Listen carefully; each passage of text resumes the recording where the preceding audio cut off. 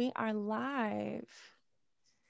Hello, participants. I see you coming on in. So we're going to give this just a couple seconds for everybody to get in and get comfortable. So go ahead, grab grab a beverage of choice, maybe wrap up in something cozy, get comfortable. And we're going to start here in just a second. Here we go. This number is still going. So I am going to go ahead. All right, let's start. Hello, everyone. Welcome to our little virtual event space. My name is Allie, and I'm going to be the host for the evening. Um, and I am so, so excited to be introducing James Crews and Gay here to celebrate the new anthology, How to Love the World. So before we get into the good stuff, I just want to quickly thank you all so, so much for tuning in and of course for buying books. Your guys' support really is what keeps this place going. And we really love what we do. So if you also love what we do, we would so appreciate it if you come swing by and grab copies or if you're not local we do ship. Shipping is just 350 for the first book and a dollar for every book after that. And i will be linking books in the chat so they should be pretty easy to find. Uh, while you are over on our website i definitely recommend signing up for um, our newsletter and checking out our other events. Our newsletter is just a once a week very short email uh, letting you know on uh, about fun bookstore events, our online book clubs, and exciting releases. And of course, you can follow us on any of the major social media platforms. We are at Third Place Books, and that'll be just the quickest updates and recommendations. And of course, we do have kind of a good time over there. So go and see if there's anything in there that is useful to you. Uh, so we are here for about an hour and towards the end we will be taking questions. So if you have any questions, which we very much hope that you do, go ahead and leave those in the Q&A box. They should be at the bottom or at the top of your screen. Um, the Q&A box is different than the chat box. The chat box is great for virtual applause and connecting with each other. I see that people have begun to see it already. Let, you know, chat shout at us. We love that. But once it comes time for questions, definitely throw those in the Q&A so that we can easily find them.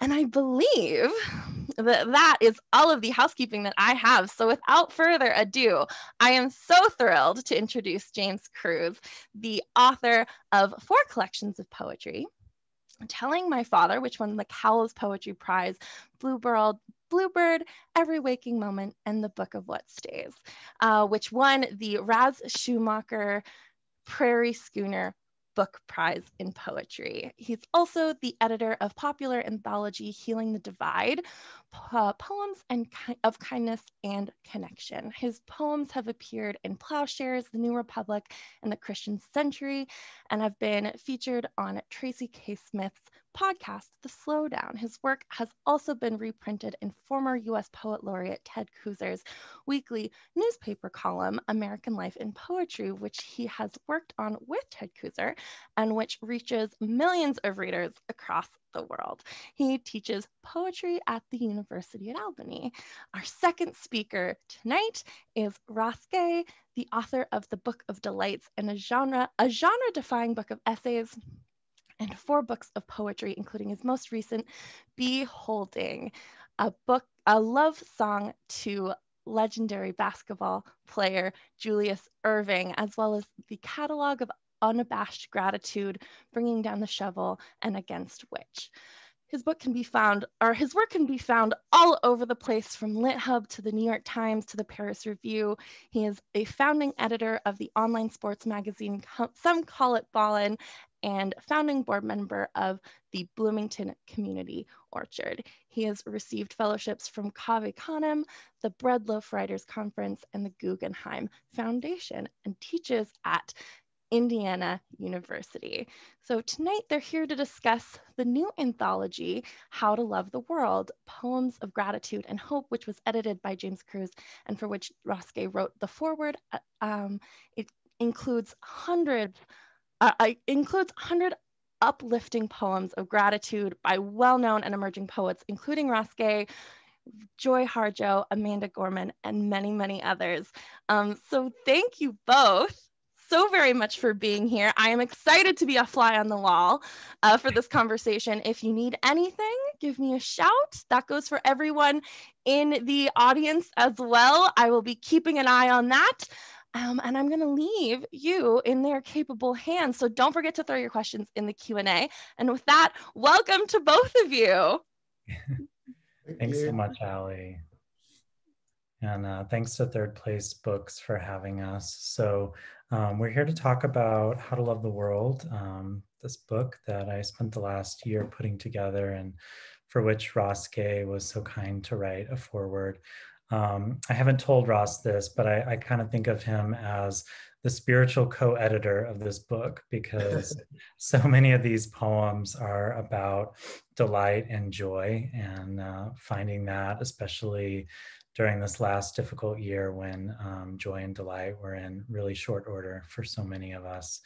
And um, and so i just want to talk a little bit about um, the seed of this anthology um, which really is just the past few years. I, I, think a lot of people thought that I put this together kind of in response to the pandemic and the racial uprising last summer, but um, it actually came about sooner than that. You know, I was planning on an anthology of poems about gratitude and joy just because we need more of that. And um, I think I had just read Ross, your Book of Delights, and um, had taught it to an MFA class. And so I was like geared up, like looking for joy and delight everywhere I could find it. And, um, and then the pandemic hit, and I think the need for um, poems that really foregrounded gratitude, joy, and hope seemed to become more of a necessity for me. Um, personally, and then um, for just all the people in my life, my students, and so, um, so this anthology just came out of that um, practice of just looking for poems that kind of took me out of the moment, put me back in my body, grounded me in the world again, and um, and this is the result of that. So I was hoping that Ross would start off by uh, reading his foreword, and um, and uh, kind of leading us into the anthology that way. Yeah, Thank you. Yeah, and it's really nice to be with you, James, and good to be at Third Place Books. Um, and one day again in person, you know, live, but we're live-ish. Um, yeah, so I'm I'm psyched to be here and to celebrate this lovely anthology. Uh, forward. I've been spending a lot of time lately thinking about witness, about how witness itself is a kind of poetics or poesis, which means making by which I mean I've been wondering about how we make the world and our witnessing of it. Or maybe I've come to understand, to believe how we witness makes our world. This is why attending to what we love, what we are astonished by, what flummoxes us with beauty is such crucial work, such rigorous work. Likewise, studying how we care and are cared for, how we tend and are tended to, how we give and are given is such necessary work. It makes the world. Witnessing how we are loved and how we love makes the world. Witnessing, witness and study, I should say. Witness as study, I think I mean. Truth is, we are mostly too acquainted with the opposite, with the wreckage. It commands our attention, and for good reason. We have to survive it. But even if we need to understand the wreckage to survive it, it needn't be the primary object of our study. The survival need be. The reaching and the holding need be. The here, have this need be. The come in, you can stay here need be. The let's share it all need be. The love need be. The care need be. That which we are made by, held by, need be. Who's taken us in need be who saved the seed need be, who planted the milkweed need be, who saved the water need be, who saved the forest need be, the forest need be, the water, the breathable air, that which witnessed us forth need be, how we have been loved need be, how we are loved need be, how we need need be too, our radiant need, our luminous and mycelial need, our need immense and immeasurable, our need absolute, need be. And that study, that practice, that witness is called gratitude. Our gratitude need be. This is what I want to study. This is with whom. Oh, that's so beautiful. It's so nice to hear it in your voice, Ross. Thank you. I love that. I I've been really moved too, especially by um, by the part where you talk about um, you know not the the brokenness and the fracturedness in our world not being uh, needing to be the focus of our study, and I feel like that gives us so much permission to just you know not look beyond it or not ignore it, but also to focus on other things maybe at the same time. Mm-hmm. mm-hmm. Yeah. Yeah. Yeah. Focusing on what what we love, how we're cared, you know, cared for, yeah. what what keeps us, what keeps us as a way of tending also to our sorrows. You know? Yeah. Yeah and then also just tending to the earth you know I, I, love that i sort of forgot you know we're coming off the heels of earth day here and you know the forest need be as well right? We forget that. Um, mm-hmm. yeah. So I, I, just wanted to ask you too um, do you have a lot of people who just assume that you're always delighted or always grateful because you write about gratitude and delight? Um, yeah, you know, I feel like some every once in a while people will kind of mistake, um, will mistake, you know, I mean, you know, a book called Catalog of Unabashed Gratitude, you know, it's kind of like, whoa, man, that's a that's a title of a book of poems, or like the Book of Delights. Like, all right, yeah, makes sense, you know, yeah. you have an impression of such things, but um, there, you know, there is what I would consider a misreading of of my work sometimes, or an underreading, um, which is that, um, you know, when I talk about joy um, and when I talk about gratitude, um, I'm, you know, joy. The way I sort of imagine it is actually the the reaching we do toward each other in the midst of what is devastating. Mm-hmm. That to me is joy, as much as you know, more than any like sort of um, um, nice thing, you know, right. like the, like the joyous thing, which is the profoundly beautiful thing, which is also the grave thing to me, is the way that we we reach toward each other in the midst of um, in the midst of the most profound sorrow, in the way that you know maybe we we hold each other's sorrows together, and what that sort of fabric makes, it becomes a kind of radiance that you know takes us somewhere. Yeah. I love that that idea that the reaching for each other in the midst of what's devastating is like that can be a definition of joy because so many people think that joy is like um, the brief spurt of happiness, you know, or um, you know, the, that Ali called this book uh, of poems like these are all uplifting poems, and I'm sometimes surprised by that because I think a lot of these poems are rooted in sorrow and you know and yet joy is like the flip side of sorrow and the two can coexist and we don't really talk about that in our culture that joy and sorrow can come like from the same spring inside. It's you know and that we can take in the sorrow of the world and be devastated by that and still feel delight or joy. I think you know that's that's what maybe people get confused by or what causes them to misread or underread certain poems.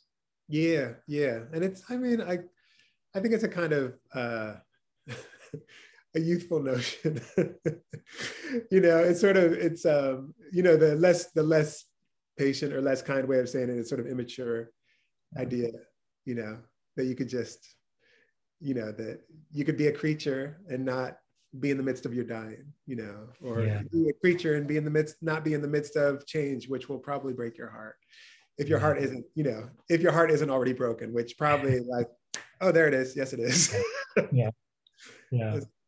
Or like an emotion can be totally pure. Like I'm only feeling sorrow right now, or I'm only feeling grief, or only joy, happiness, love. Like it's such a mix. And I think the broken heart allows all of it to be at the same time. Yeah. I was just, um, you know, I'm, I'm working on this thing with someone uh, who's in this book, actually, Noah Davis. We're writing about basketball. Yeah. Um, and I was just writing um, that, oh, you know, celebration is is one of the one of the dialects of mourning. Hmm. You know, um, like you said, that you know they're they're just like that. They're just like that. Yeah. Yeah, absolutely. And and I love that, you know, celebration can be a part of mourning because I think especially, you know, with everything that's gone on in the last year and and and in all of our lives, you know, it's we get this idea that to mourn something, we have to be at a standstill or we have to be in inertia. And celebration to me suggests like connecting or reaching out, like you're saying, or finding the thing that brings you joy and doing that in honor of the person you've lost or the thing you've lost or whatever um, so uh, yeah that's that's a beautiful notion yeah um, well why don't we maybe i'll read a poem um, so i for some reason i was thinking about alberto rios's when giving is all we have just that idea of you know the reaching out and the connecting so uh, when giving is all we have one river gives its journey to the next. We give because someone gave to us. We give because nobody gave to us. We give because giving has changed us. We give because giving could have changed us. We have been better for it. We have been wounded by it. Giving has many faces. It is loud and quiet, big though small, diamond in wood nails. Its story is old, the plot worn, and the pages too, but we read this book anyway, over and again. Giving is first and every time, hand to hand, mine to yours, yours to mine. You gave me blue, and I gave you yellow. Together we are simple green. You gave me what you did not have, and I gave you what I had to give. Together, we made something greater from the difference.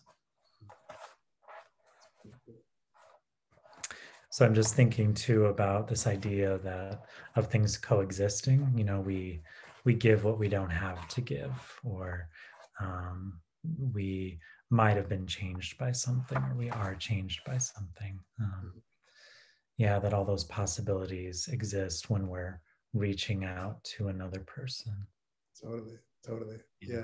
in the midst of our giving. Yeah. Absolutely. Yeah. Would you like to read? i do one? Yeah please do. It's short. Um it's a lucille clifton poem hmm. and it's just it's called the lesson of the falling leaves. The leaves believe such letting go is love. Such love is faith.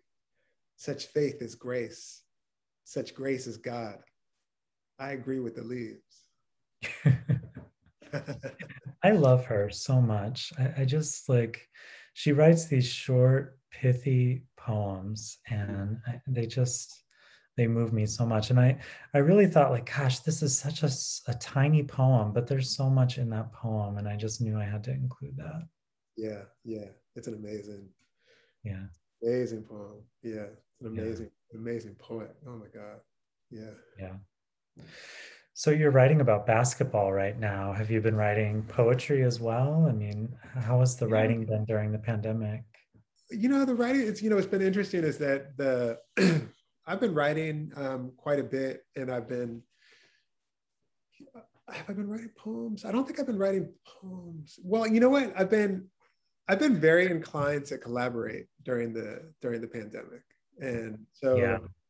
Like I mentioned, these basketball kind of exchanges, and then I've been working on, um, you know, just getting with, you know, folks who I'm studying with, you know, like writing kind of collaborative poems or, or even thinking about other, just like some thinking about projects, you know. Um, that's been that's been one of my one of my main inclinations. Um, you know, started about a year ago was to be like, I didn't even notice it until a little bit later, but I was like, later I was like, oh man, I've been, I'm always itchy to collaborate, but I felt yeah. a little extra itchy.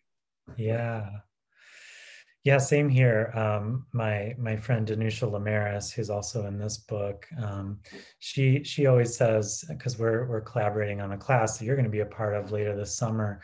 But um, she's like, you know, this is the year to do big, risky things with people we love, you know, and and I just feel like that's it. Like we can't put it off anymore, you know.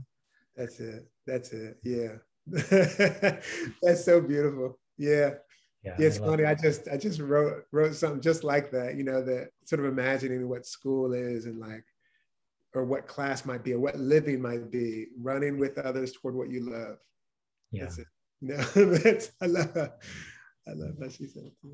Yeah, and it's so true. And I think you know I the way I've often taught is sort of that, you know, like let's just do what we love and keep things loose and, you know, like listen to our intuition, remember what intuition is. And I don't know, I feel like we're, we're all kind of moving in that direction, or I like to think so anyway. And um, that it, it, could be a real change that comes within poetry and, and academia.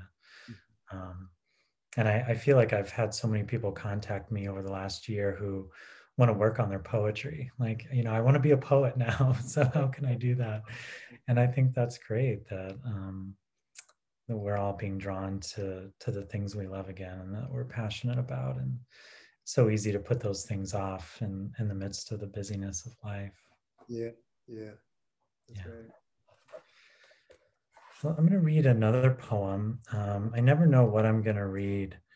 Um, so I kind of want to read this poem by January Gill O'Neill um, in the company of women. And this is this is all about joy for me. And I've thought about this poem a lot. It's on page 102. And um, just in the midst of the pandemic, like we're all trying to take our joy to go, basically, like find different ways to different creative ways to make that joy happen, especially when we can't gather. So this is In the Company of Women by January Gill O'Neill. Make me laugh over coffee, make it a double, make it frothy so it seethes in our delight. Make my cup overflow with your small happiness. I want to hoot and snort and cackle and chuckle. Let your laughter fill me like a bell. Let me listen to your ringing and singing as Billie Holiday croons above our heads. Sorry, the blues are nowhere to be found. Not tonight, not here. No makeup, no tears, only contours, only curves. Each sip takes back a pound. Each dry roasted swirl takes our soul. Can I have a refill? Just one more. Let the bitterness sink to the bottom of our lives. Let us take this joy to go. I really miss cafes also. yeah, yeah. yeah, I know what you mean. I know what you mean. it's just such a great place. I mean, I I, I remember in Book of Delights, you know, you're talking a lot about being out and and writing in cafes and just observing people and that that kind of like seeping into whatever you're writing and whatever you're working on. That spirit and that kind of bustle gets yeah. in you. And I'm just, you know, I, I have a lovely studio here. I love my studio, but I want to be out out in the world too. You know. Yeah, yeah. So, totally. Makes me very um, nostalgic at home. Yeah, yeah. Um, should I do one? Yeah, go for it. This is a Tess Taylor poem. There doesn't need to be a poem. It's called. That's the first line, too.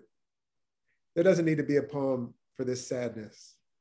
Simply to breathe next to a stream that slips into the gutter near your house would be enough. To see next door in the graveyard the brown and yellow millipede bury itself below one granite stone, joining in the work of making soil, just as now the faithful oxygen still turns the copper headstone green, oxidizing to patina despite all. By luck, your own feathered alveoli still red in blood, your fine cell walls trade oxygen for carbon and sift the windy mix we call air.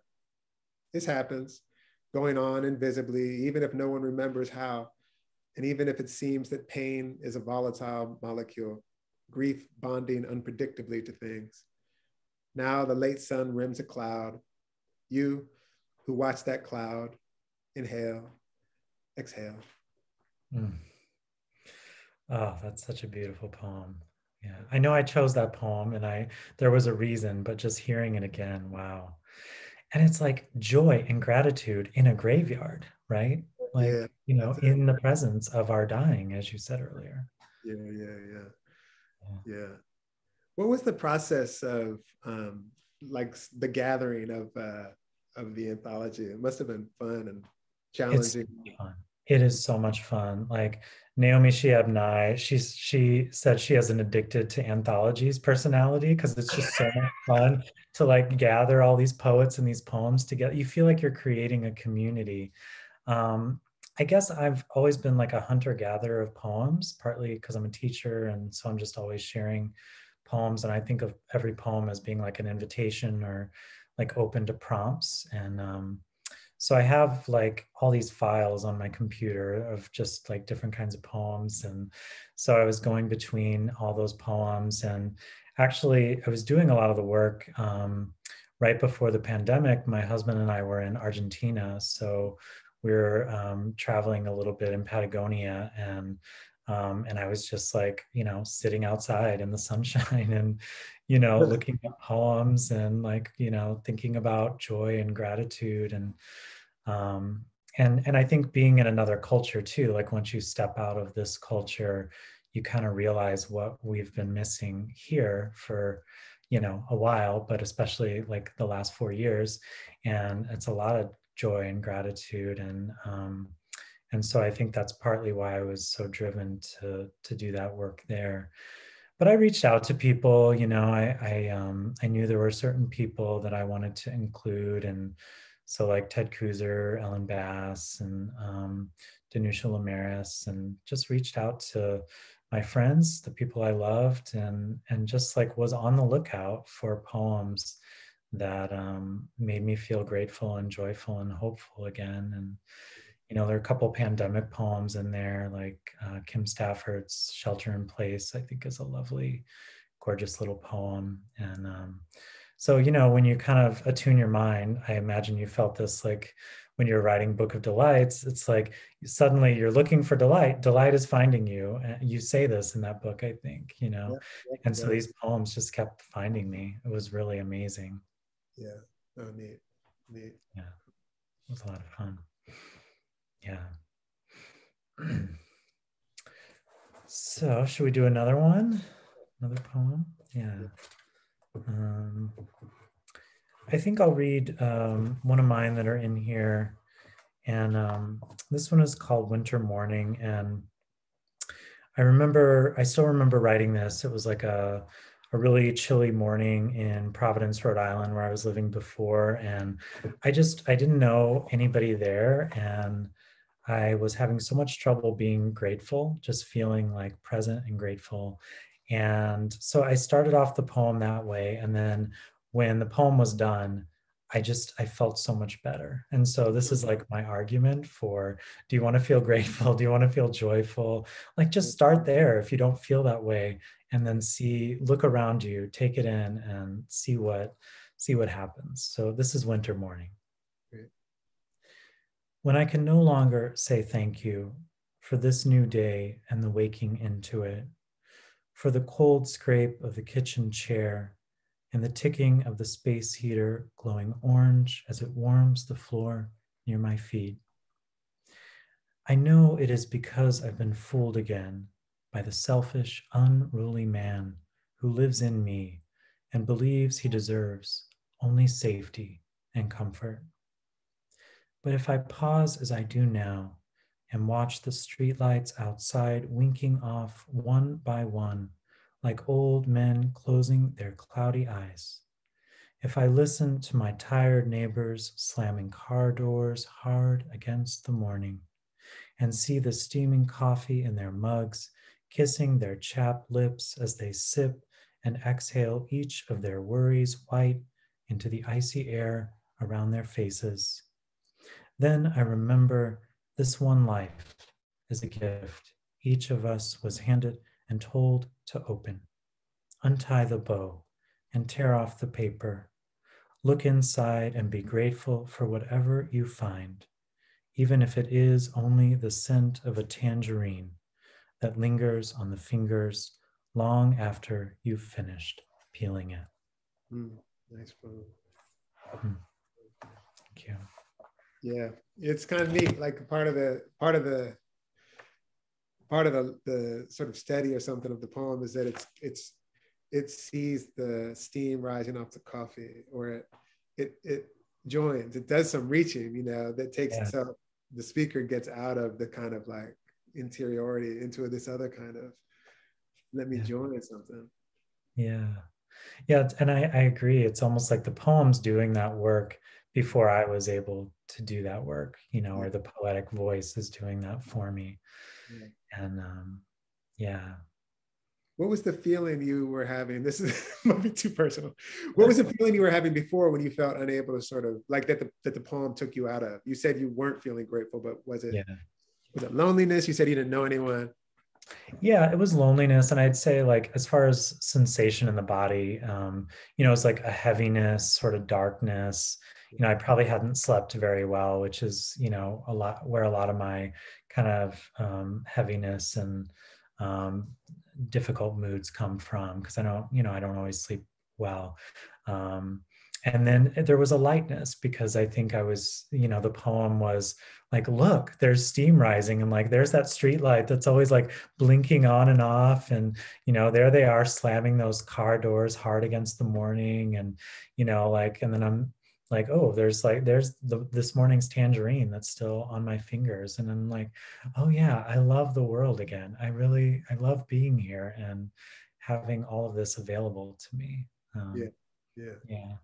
It's a beautiful thing the way because it is sometimes when you when you don't impose on a poem but you allow a poem sort of to bring you along you know it's kind of magic it's kind of magic Yeah, it is. And you know, it's like I was even too worried. Like this this poem lived in a file folder for a long time because I thought it was too cheesy. Like, you know, oh, like this life is a gift. Like, oh, that's that's too much. Like, you know, and then someone read it and they were like, oh my God, like you you need to like do something with this. So, yeah you know, it's you, you have to just trust the poem, I think, sometimes. yeah, yeah. um let me see i'm going to read that um put my poem in here Yeah. Which is You're on 74, I think. Yeah, you got it. Thank you. Um, yeah, it's called Wedding Poem. And this really, it's really, my friend was like, hey, you got to read a poem at our wedding. And I was like, okay. And of course, being me, I was like, I woke up the day of their wedding. I was like, God damn, I got to write a poem. Wedding poem for Keith and Jen. Friends, I am here to modestly report. Sometimes when I say friends in a poem, I like laugh now. I'm like, here comes for us.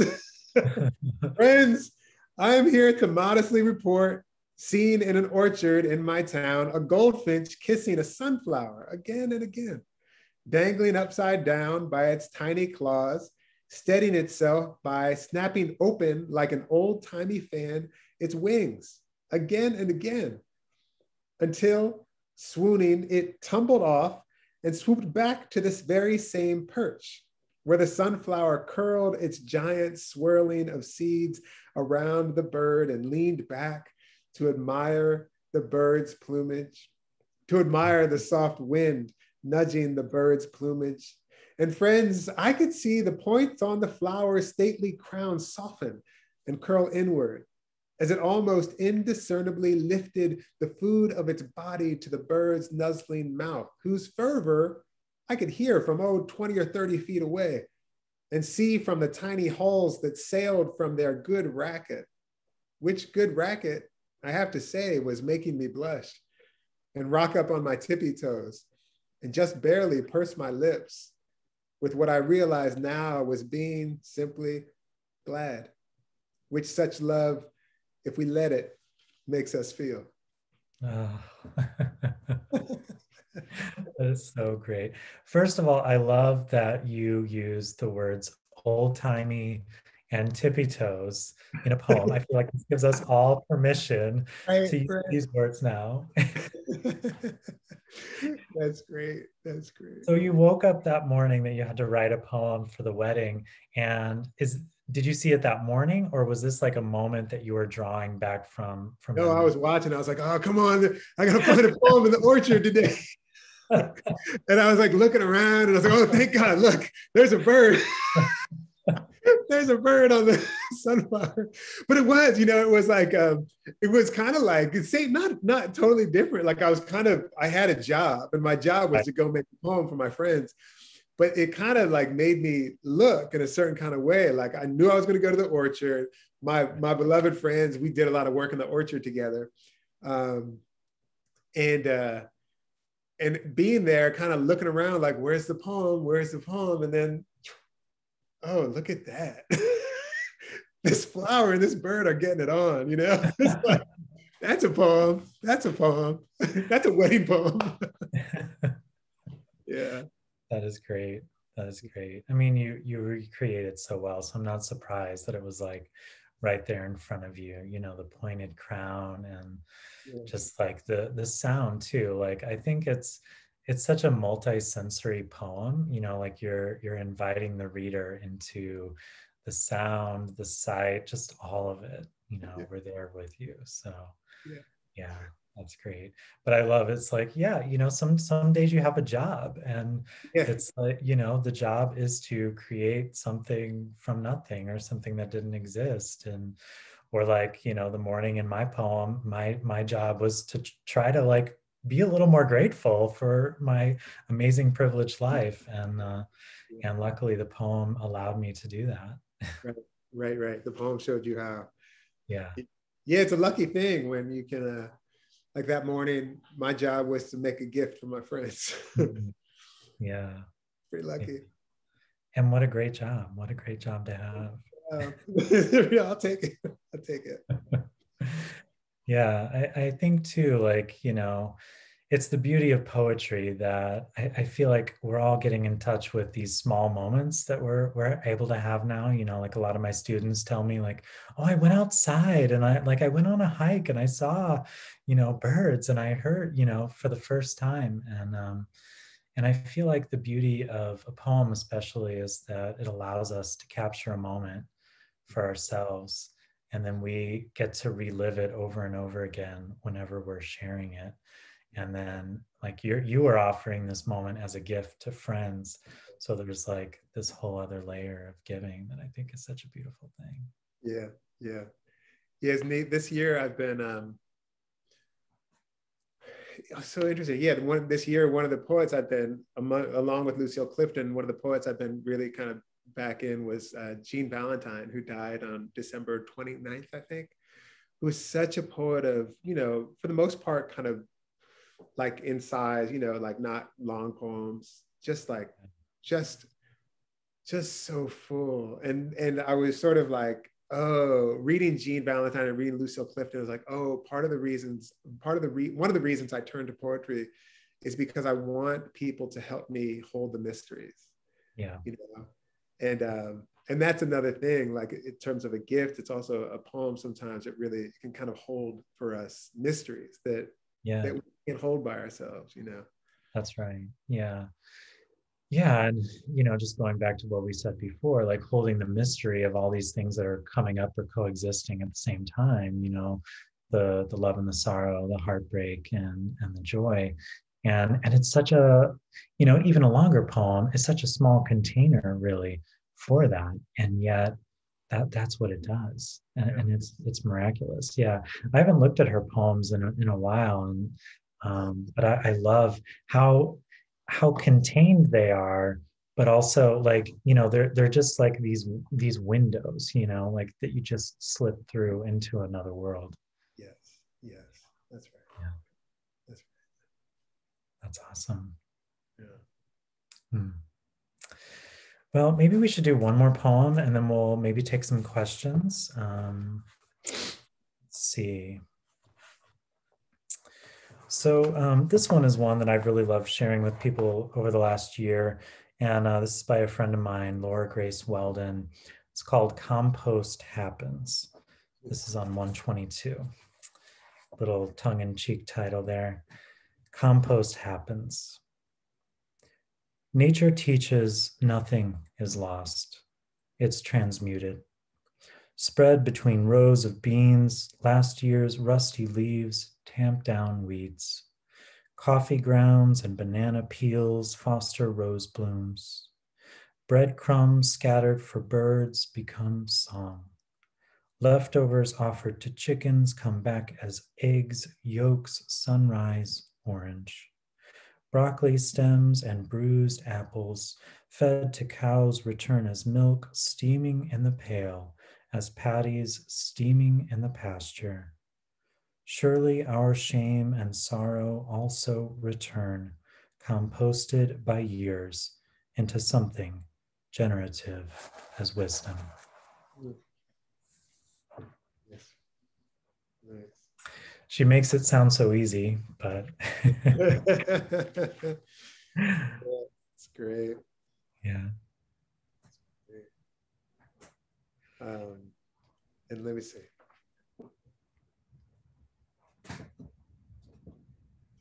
You know, I'm going to do that Naomi Shihab poem in there. Yeah, yeah. Let's do it. We forget about the spacious, it's called Over the Weather. Over the Weather. We forget about the spaciousness above the clouds, but it's up there. The sun's up there too. When words we hear don't fit the day, when we worry what we did or didn't do, what if we close our eyes, say any word we love that makes us feel calm, slip it into the atmosphere, and rise? Creamy miles of quiet, giant swoop of blue. Hmm. Yes. Again, like a shorter poem, but so much space in that poem. And So just, I, I think of that poem as like this big embrace, like these big open arms. Yeah, yeah, so spacious. Yeah. Very nice. All right. Shall we head over to some questions? Absolutely. Thank you. Wonderful, of course. Thanks for uh, reappearing. Surprise. so, Julie would like to know how you connected for this anthology. Yeah, so it was just over email. And um, I think uh, Todd Davis, another poet, um, he connected us. Maybe it was Noah actually, because he and his new wife, I know, just randomly showed up here in Vermont. You know, I was sitting in the house one day and I'm like, what, where, what is, who is here? And so they just walk up and we had tea on the sun porch. So, um, so maybe, maybe they connected us. Um, but we just mostly handled it over email. And, um, and so it's, it's good to see you in semi person. yeah, yeah, no kidding. Really good. Yeah, and then I think, like I said earlier, um, you know, reading Ross Ross's amazing book, which please, I, I, feel like everyone I know already has a copy. But if you if you don't have a copy, if you haven't read it already, please, it will make you feel better. You'll just feel better, and you'll go around like finding delight, finding kindness, which is what happened to me um, after I read it for the second time um, over the pandemic, and. Uh, so you know that book was really influential and i i just felt like you know that these books were similar in spirit so rebecca um, Rebecca says, Thank you to glorious human beings. I'm struck by how these poems spring from a deeper contentment that's both rooted in the world and beyond it. They're not candy store high, but the wild honeysuckle plucked from a dying bush. Can you speak to this and perhaps share any of your practices to reach into that wellspring? Hmm. Hmm. Yeah, I, I just I love I love the honeysuckle image. I'm I'm just like kind of intoxicated with that right now. But um, I don't know. I think it's it's really like we were kind of saying earlier, um, just trying to get out of the head and um, get out of the interior space, and um, being in the natural world is is one way that that happens for me. Like, you know, it can be something as simple as just feeding the birds in the morning, or like we have a flock of crows who live around us that we um, sometimes feed peanuts and you know little bits of bread too and you know we're like on a schedule with these crows and it's just like connecting to something larger or something different um, i feel like maybe allows me to stay in touch with a more childlike or like joyful space inside that is able to receive these things um, or these images yeah i'm i'm curious about the ways that are um, the ways that we can have practices by which our um, the boundaries the boundaries between what we consider ourselves and not ourselves start to diminish you know mm-hmm. So what are the ways that and, and one of those ways is is like you know gratitude actually mm-hmm. and you know and if if we started thinking about if we, you know, you could never, you could never in one life uh, say gratitude for everything that has made your life possible. You can never do it, you know, which makes it such a good reason to try, you know, you can never do it. And I wonder if that's like, and again, like that, that kind of, to me, like the, even, yeah, that, that sort of honeysuckle, you know, um, on a, on a bush that's, you know, maybe dying, um, honeysuckle, one of my favorite smells um, on this planet. Um, that acknowledgement, like the sort of un, unending acknowledgement, which is to say, you have made me possible, you have made me possible, you have made me possible, meaning the tree, you know, and meaning the the microbe in your gut and meeting the the skin on your body and meaning you know your mother whatever you know and um, that that that's kind of you know that's what I've been thinking about a lot lately. How we sort of how do we cultivate this this practice of that that our indebtedness runs mycelially, you know, yeah. our need that our need need be, you know, it, mm-hmm. it is uh, more we more we pay attention to our need, it feels like the more you know the the distance between us, sort of the artificial distance between us starts to become evidently artificial. Absolutely. Yeah, and that's why I love that word mycelial, um, because you can't necessarily see those connections, they're, or they're not visible, and yet we are each connected in those ways. I, I really, I truly believe that, and um, and so that is what makes the gratitude completely, you know, impossible to capture for everything that's contributed to our lives, and that you know allows us to live and allows us to live in a certain way too and to do what we do. Yeah and, and i'm interested too you know I, I don't know as much about the science but just like scientists are working with gratitude now and you know realizing like you know it's not news necessarily but like the more each day that you practice looking for things that you're grateful for and articulating that whether it's in a poem or a journal or just telling someone else and saying why you're grateful for it like there's something about that that situates it more in the body and allows you to hold on to it um, than just saying like oh I'm, I'm grateful for my house my family you know like finding new things every day i think is is that practice um, and like you're saying ross like trying to to to to say gratitude for every single thing over a lifetime it's impossible and why not die trying. Right? Yeah, yeah, yeah. Yeah. So Bruce would like to know if this book is out already, which I can answer. Yes, it is. It came out at the end of March. I'll give me just a second and I will throw that link back in the chat so you can find it and click on it.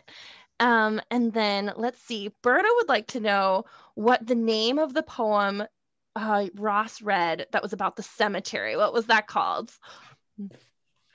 That was um, Tess Taylor's one. Yeah, Tess Taylor's, and I think it's there doesn't need to be a poem. Perfect. Yeah. It's like the okay. next, the last one in the book, I think, or close. Wonderful. Thank you. And then, so Bruce is, uh, so he's wondering, um, he says, I'm sure there's a worry that um, it's all, and I'm assuming that he means here gratitude and hope. Writing about gratitude and hope feels cheesy. Um, eh, how, is there a way to balance that with something else, etc.? Hmm. Yeah. You know, I heard this great quote. I, I can't remember the teacher's name, but she was a meditation teacher. And and I think she said something like, if you can't be cheesy, you can't be free. And I just like, I was like, yes, that's it. That's that's all I need. Um, yeah, I think maybe if you're if you're worried about kind of being seen as being hip or um, being seen a certain way, then then it might be worrisome to write about gratitude and hope. But I don't know. I think it just has to come naturally. And you know, like I said before, there are many poems in here that I think of as as really uplifting, and yet they're they're about deep sorrow. Like you know, there's um, there's one poem by Lynne Knight. I think it's called "In the Third Year of My Mother's Dementia," and she talks about caring for her mother, who you know is going deeper and deeper into dementia, and then all of a sudden she's looking out the window and she sees this flock of peacocks, and it's just like beauty for no reason. And, and, it's like that's the uplifting piece. And and i think the poem ends with something like you know this idea that beauty doesn't fix anything in particular and yet it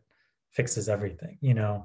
Um, so i guess i don't worry too much about that you know there i think one reviewer said something like you know it was comparing the book to the chicken soup for the soul series and like it had a whiff of chicken soup to it and i'm like that, that's great. I'm i'm very happy. A whiff of chicken soup in this book you know that's that's fine with me. Yeah. Yeah. Yeah if i were to say anything about that it would be um uh, you know like uh again, like the sort of adult expressions of things like gratitude are, um, to me, it's like you're also talking about you're talking about death. You know. Yeah. You're yeah. not. You you know. So.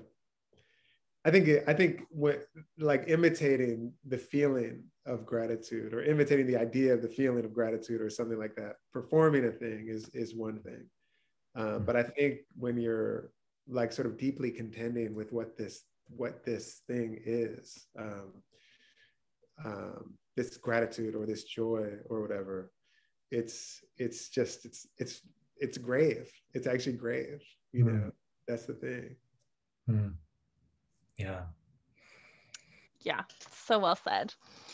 So hope would like to know do you find, speaking of the wedding poem, uh, do you find that most poems start with an image or with language, a phrase or sound, or just a glance off to the side? And then thank you. I appreciate both of your work so much. hmm. That's a good question. Do most poems start? I don't know. You know, I'm so not that person. Like I'm like, I don't know. I don't know. Some poems do. Some poems start with like a phrase. Some poems start with an image. Some people say a poem always has to end on an image, and I'm always like none of it. You know, I don't, I don't, I don't go for any of it. Yeah. Uh, or I go for all of it, whatever. Um, yeah. Yeah. Yeah. Yeah. I don't know. I don't. Yeah. I, I don't. I can't answer that. I don't know. Can you answer that question in a satisfactory way? Maybe not satisfactory. Um, yeah, I, I was just I, I didn't put it quite in that way, but in my head I'm thinking like I'm not that guy either because it's such a mystery to me. I mean, I really don't know. Like sometimes I hear a voice that sounds like something I want to write, and and maybe sometimes that comes from an image. Like, you know, yesterday I was looking at my husband's dirty socks, like lined around the edge of the hamper, like he was going to wear them again, but you know, he's not. And like, why are they lining the edge of the hamper? And so that sparked something. And, um, and yeah, so I guess that's an image, but I also heard uh, a line. So I think there's never a formula. And I, I think what, what I try to do is just walk around being really open and, um, you know, like reading poems that get me going. And, you know, like the poems in this book, they all start in different ways and, and they all begin with um, different subjects. So, um, yeah, I just think there's no formula. And when I learned that for myself, I, I think I was a much happier poet because I always thought there, you know there could be a formula or there might be a way to like always make that poem happen. And it's it's such a messier process than that. It's like gloriously messy. Yeah it's a little bit like once you know how to do it you know once you know exactly how to do it. Yeah. Why do it? Then it's harder to be led toward the thing that a poem's trying to sort of coach you up on. Yeah yeah to be led and and to just follow the poem yeah i think is so much more thrilling yeah because yeah, if it was a formula like no one would do it once you once you knew how to how to get that you know so-called answer So, Karen would like to know who are some of your favorite poets? Good luck. Yeah. Yeah well, you know, a lot of them are in here. um, yeah.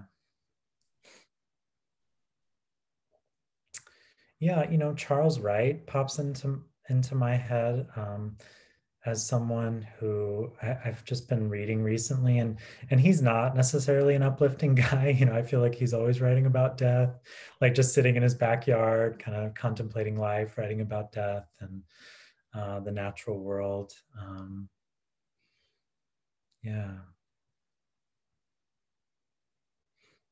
Yeah, and I, you know, I studied with Ted Kooser in Nebraska, and he just like he reading him has really taught me how to see the world, and you know, to uh, just like reading Ross has also done, like how to find delight in really simple, like radically small things.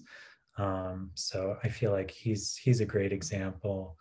But there are just so many good poems and good poets out there. It's really hard to choose. Yeah.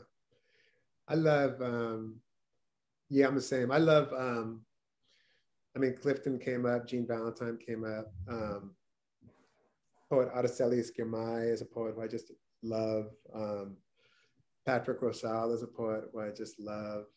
Um, M. Basie Philip is a poet who I love um, and I'm astonished by. Um, Joy Harjo. Yeah. Is a poet who I just, you know, I don't know if I would have ever learned how to write a poem without reading her poems. Um, mm. June Jordan is a poet. Um, yes. Just yeah. so important to me. Audre yeah. Lorde. Yeah, it's on and on and on. Yeah yeah they've all been important. I mean it's sort of like what you were saying about the the mycelial like you know these these rootlets connecting every poet to every poem that you've ever written. That's yeah. like we you know you could never repay that debt to every poem. Yeah. Yeah that's right. Yeah. Yeah. So Kelly is wondering if James, you can tell us more about the online class you'll be teaching later this year. Mm-hmm. Yes, yeah. So Ross is going to visit with us, um, and the the class is with Danusha Laméris. She and I are teaching that, and we're calling it uh, Poetry of Resilience, and um, basically just using poetry as a tool for navigating these difficult times. And you know, basically, this is an extension of what I said earlier. Danusha mentioned like this is the year to do um, big risky things with people you really love, and so we were like, you know, just made a list of all the poets that we would want to hang out with and can't obviously right now. And so Ross is on the list, Naomi Shihab Nye, Jane Hirshfield, Ellen Bass, uh, Nicole Brown, and um, and we just wanted to hang out with these people and you know glean a little wisdom from them and then ourselves like just talk poetry because I've never actually met Danusha in person and we've only connected over Zoom or done readings and things like this. Um, and we realize that every time we start talking, we just start talking about poetry and, you know, it feels like we're doing a podcast or something. And, and we just realize like, we need to like do something with this. So um, we're, we're doing something that we love together. So I see that Danusha put in an email address to contact in the chat. So all of you go check out the chat. You'll find that there. Um, so we are reaching the end of our evening together. So I have a couple more questions. This is from Stephen. Uh, Ross has written, I forget where exactly, but I read the quote every day, or I read the quote every day before I teach. The ice is melting everywhere, and I'm supposed to employ the method of teaching that is part of the same system that got us here. I can't do it anymore. We have to figure out different ways to be together. I was wondering if Ross and James could speak a bit about how they approach teaching, whether in a classroom or through poetry, and how to bring gratitude and grief too into pedagogical encounters. Hmm. Yeah, thank you. Yeah. I could say a little bit about that. Um, um, and I was sort of thinking a little bit back to the a couple questions ago about you know um, about you know people thinking you know I'm a, like a am I like always delighted or whatever?